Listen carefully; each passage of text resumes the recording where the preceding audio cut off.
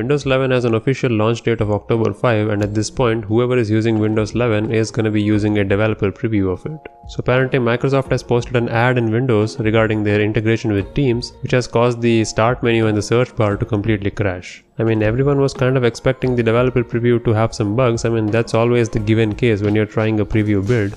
But I guess no one was expecting a push notification that was sent by Microsoft themselves would crash their own operating system. Well, Microsoft has addressed this issue and they have quickly posted a solution. So if you're one of the people who are running this build and you are affected by it, you can simply follow these steps to fix it. Now, when I heard the news of Windows crashing, I was a little nervous because as of recording this video, on the same date, I had received a Windows update and I had already updated it. But my build of Windows 11 preview seems to be working fine. Looking at the solution given by Microsoft looks like we have to add a new registry entry. Whoever was using the 22000.176 build, either using the dev or the beta channels of the Windows Insider program would have had this issue. So if you're thinking of trying out a developer preview of Windows 11 then yeah, beware that you will have this issue and you have to run that patch.